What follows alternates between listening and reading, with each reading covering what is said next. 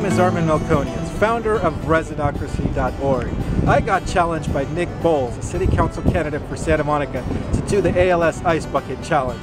I take my challenges seriously, so I decided to get the Residocracy board to challenge the entire Santa Monica City Council candidates to do the same Ice Bucket Challenge, the ALS Ice Bucket Challenge. So I challenge Kevin McKeown and Pam O'Connor.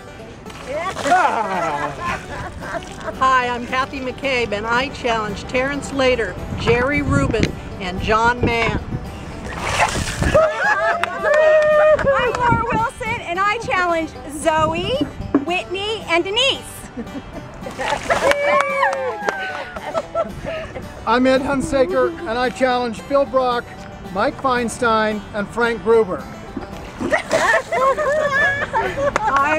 I'm Josephs, and I challenge Sue Himmelrich, Jennifer Kennedy, and Richard McKinnon. I'm Kate Bransfield, and I challenge David Martin, Marsha Moutrie, and Rod Gould.